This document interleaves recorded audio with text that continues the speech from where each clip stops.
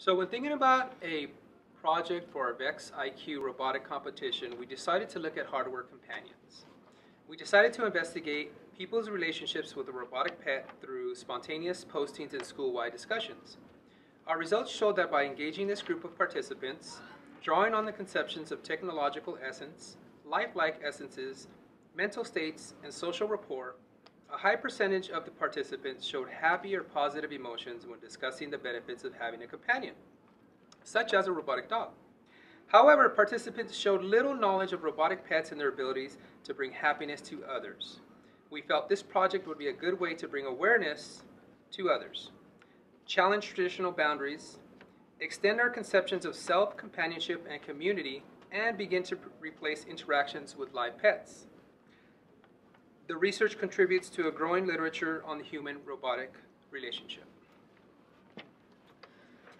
So we decided to first talk about what are the therape- therapeutic effects of having a robotic pet. Some compare to animal-assisted therapy, used to calm behaviors, mood disturbances, and increase the quantity, and quality of social interactions.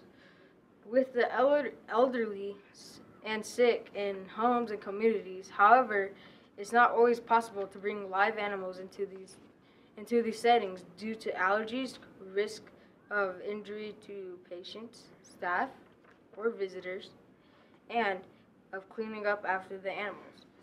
With companion robots, there is no need to feed, walk, or clean up afterwards. They require less care than living animals. Studies on effects of robotic dogs are limited, but some research suggests that robotic pals may be effective substitutes for living animals. In one study at a retirement home, researchers found that many residents preferred to touch a, and interact with the robotic dog over a real dog, like a pet Jack Russell Terrier. Where while the dog could choose with with who it interact, interacted, the robot could be placed on the lap of any resident and would respond to that person. Our question is, can a robotic dog help people with disabilities?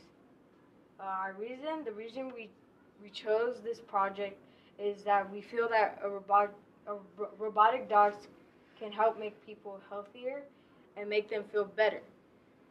Our hypothesis is a robotic dog can help because they can help people with disabilities, like people with allergies, people who cannot physically take care of a dog, and people who are depressed.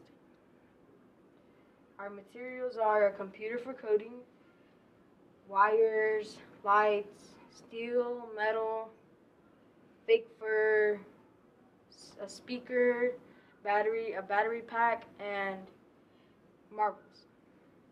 Our research and procedure came up with our big question. We researched pictures of robotic dogs. We all we came up with our reason. We came up with our hypothesis. We created a model slash sketch of our robotic dog. We searched online for a list of materials. We started making our list of for our research. We made our project title. We created a prototype robotic dog. We started to make our conclusion. Conclusion. Based on our research, we could conclude that a robotic dog can change the world because they are used for therapy purposes. Some people even do funerals for robotic dogs.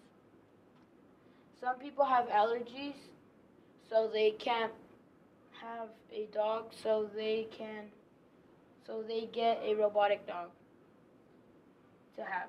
Kids have with autism interact more with a robotic dog than a simple me mechanical toy dog.